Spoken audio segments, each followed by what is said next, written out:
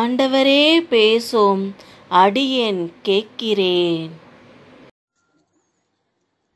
என் அன்பு மக்களே இந்த நாளில் உங்களோடு கூட நாம் பேச இருக்கின்ற இறை வார்த்தை எசாயாவினுடைய புத்தகம் அறுபதாம் அதிகாரம் முதல் வசனம். எசாயா அறுபது ஒன்று. எழு ஒளி வீசு உன் ஒளி தோன்றியுள்ளது. ஆண்டவரின் மாட்சி உண்மையில் உதித்துள்ளது.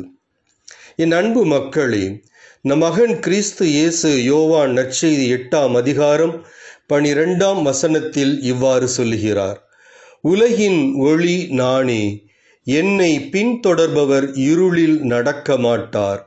வாழ்வுக்கு வழிகாட்டும் ஒளியை கொண்டிருப்பார் என்று சொல்லுகிறார்.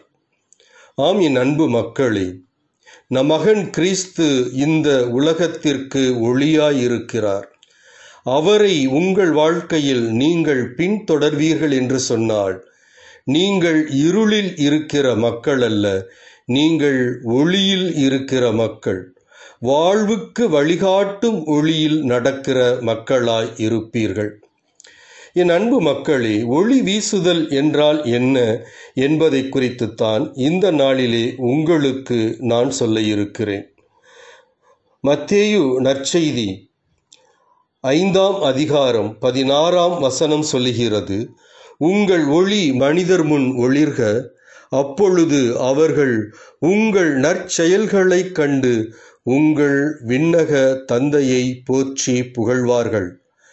ஆம் என் அன்பு மக்களே. நீங்கள் ஒளி வீசுதல் என்றால் என்ன?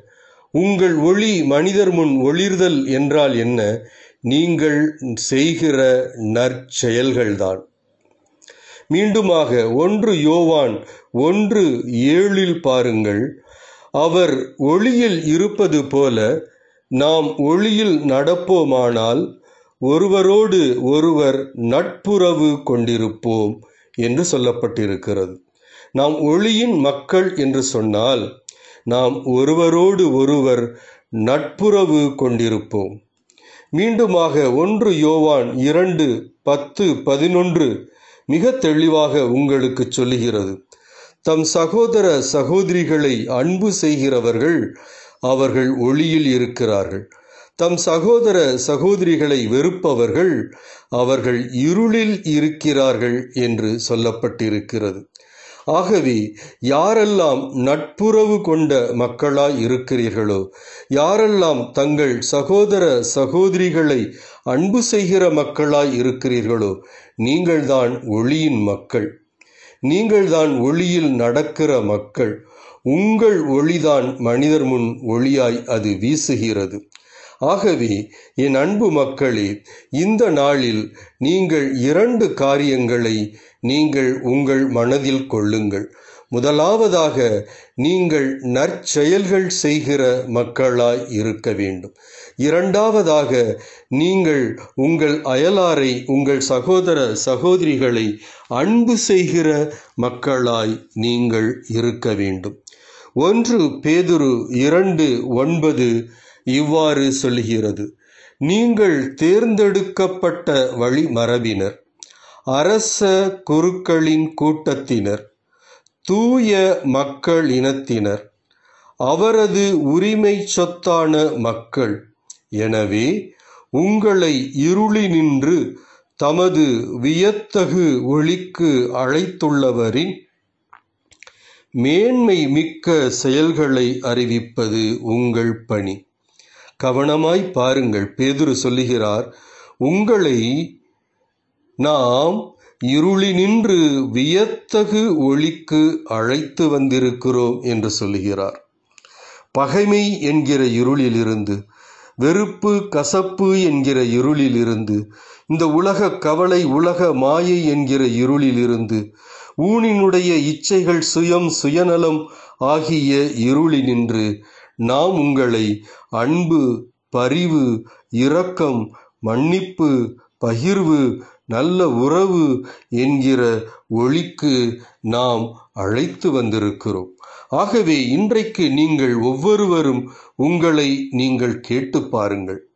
உங்கள் உள்ளத்திலே பகைமை இருக்கிறதா? உங்கள் உள்ளத்திலே வெறுப்பு இருக்கிறதா? உங்கள் உள்ளத்திலே கசப்பு இருக்கிறதா? நீங்கள் இருளில் இருக்கிறீர்கள் என்பதை நீங்கள் உணர்ந்து கொள்ளுங்கள். இந்த உலகத்தின் கவலையிலே நீங்கள் சிக்கி இருக்கிறீர்களா ஊனினுடைய இச்சைகளிலே நீங்கள் சிக்கி தவிக்கிறீர்களா? உங்களது சுயத்தை விட்டு வெளிவர இயலாத நிலையில் இருக்கிறீர்களா? இன்னும் நீங்கள் இருளை விட்டு வெளியே வரவில்லை. நமது வியத்தகு ஒளிக்கு நீங்கள் வரவில்லை என்பதை உணர்ந்து கொள்ளுங்கள். அதை உணர்ந்தால்தான் நீங்கள் அதை விட்டு ஒளிக்கு வர முடியும்.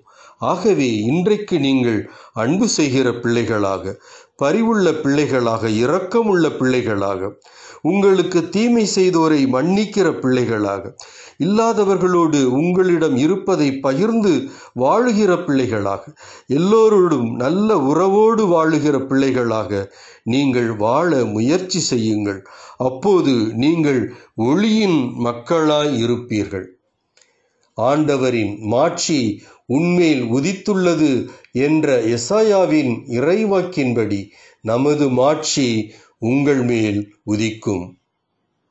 எங்கள் அன்பின் பரலோக பிதாவே இறைவா எங்களை ஆசிர்வதையும் நிறைவாக ஆசிர்வதிக்கும்படியாக மன்றாடுகிறோம். இதோ இந்த கால பொழுதில் மிக அருமையாக எங்களை தட்டி எழுப்பினதுக்காக நன்றி இறைவா. நேற்றும் இன்றும் என்றும் மாறா கிருப நிறைந்தவரே. உண்மையே நாங்கள் ஆராதிக்கிறோம். என் கர்த்தர் நல்லவர் அவர் கிருபை என்றும் உள்ளது தகப்பனே. ஆண்டவரே நாங்கள் பாவிகள் இறைவா எங்கள் பாவங்களை மன்னிக்கும்படியாக மன்றாடுகிற தகப்பனே அதிகாலையில் என்னை தட்டி எழுப்பினதுக்காக நன்றி தெய்வமே. உம்முடைய ஒளியினால் எங்களை நிரப்பும்.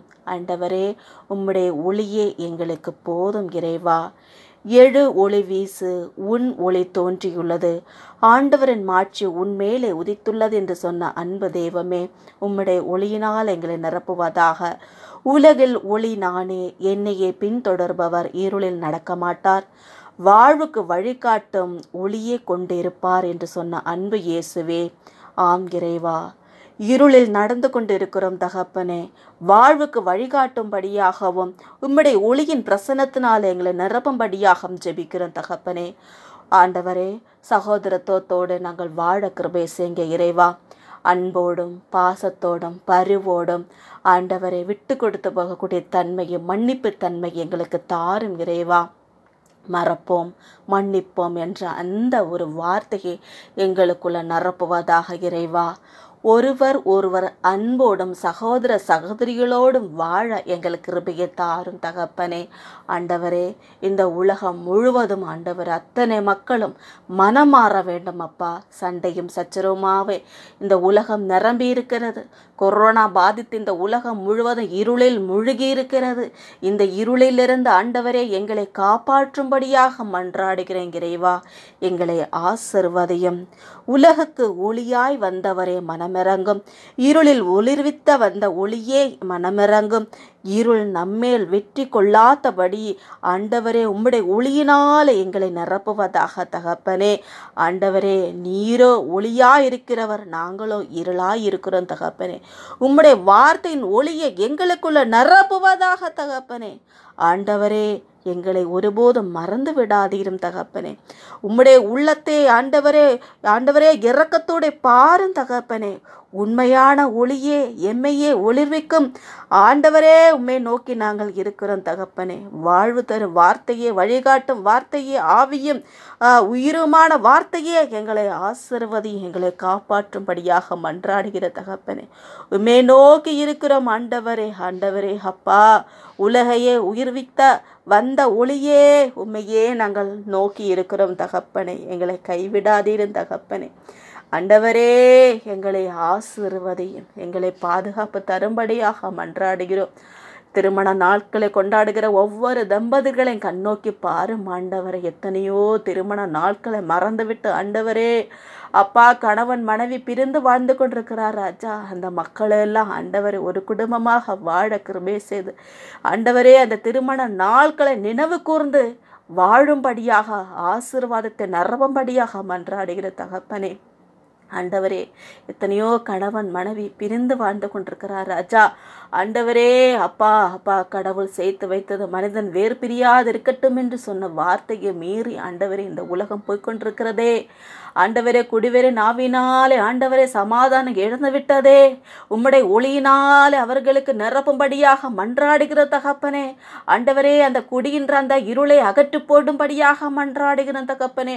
ஆண்டவரே சந்தேக புத்தியினாலும் ஆண்டவரே தப்பா கடன் பிரச்சனையினாலும் ஒவ்வொரு குடும்பமும் பாதித்திருக்கு தகப்பனே இருளை அகற்றி போடுங்க ஐயா. இருளை அகற்றி போடும் தேவமே உம்முடைய ஒளியை நிரப்புவதாக தகப்பனே ஏழு ஒளி வீசு என்று சொன்னீரே. உம்முடைய வார்த்தை எங்கள் ஒவ்வொரு குடும்பத்துக்குள்ள நிரப்புவதாக தகப்பனே. அப்பா நீரே எங்கள் எல்லாம் ஆண்டவர். உண்மையே நம்பி நாங்கள் வாழ்கிறோம் தகப்பனே. மகனே மகளே சோர்ந்து போகாதே. இந்த உலகத்தில் உபதிரவங்கள் உண்டு. ஆனால் நீ திருடமா இரு. இந்த உலகத்தை நான் ஜெயித்தேன் என்று சொன்ன அன்பு தேவமே எங்களை ஆசீர்வதிக்கும் தகப்பனே. எங்களை ஆசிர்வதிக்கும்படியாக கர்த்தாவாக இயேசு கிறிஸ்து இனிய நாமத்தினாலே நாங்கள் ஜெபிக்கிறோம். என் ஜீவனுள்ள நல்ல தெய்வமே 阿门。